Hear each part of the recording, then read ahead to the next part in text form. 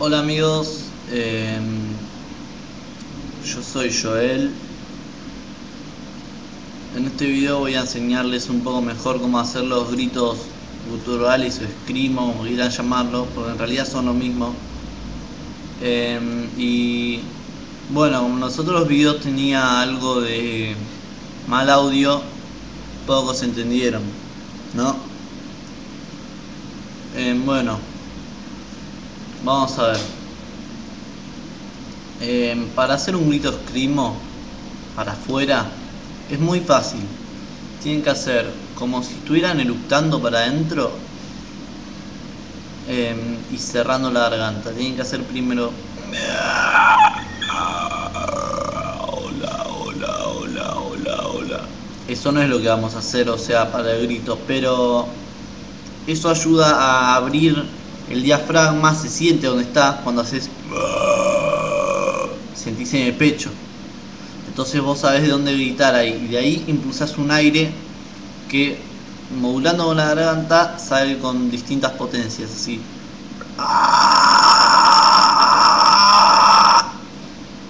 Como por ejemplo un grito de Black Bill Bryce. A ver, ahora les voy a mostrar alguno. Escuchen este grito. Este grito es un gutural, un escrimo para afuera.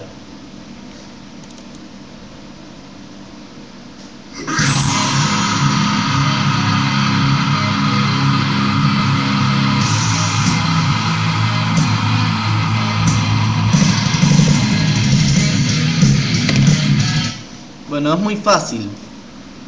Vos tenés que hacer como el eructo para afuera, pero sin que se note. Tenés que hacer.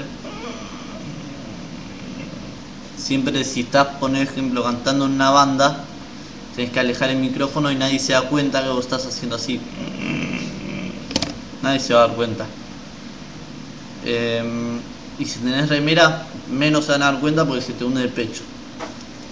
Bueno, vamos a hacer un pequeño grito, a ver si me sale el grito de esa banda.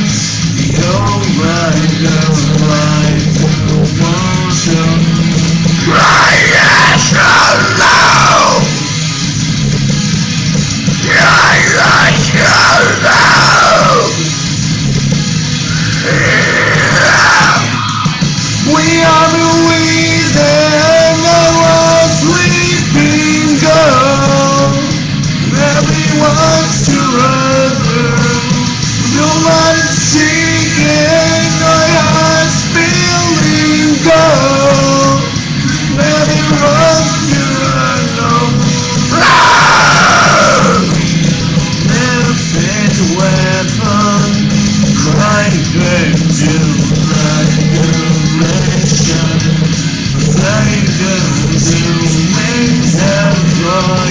you.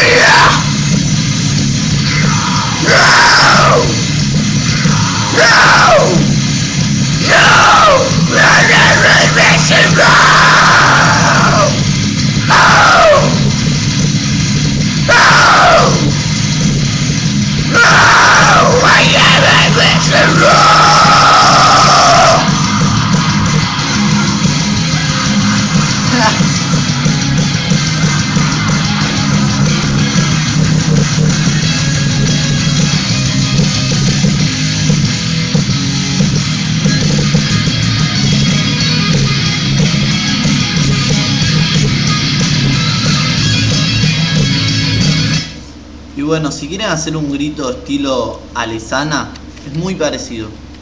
Ahora vamos a cantar un poco de Alesana, porque estoy aburrido.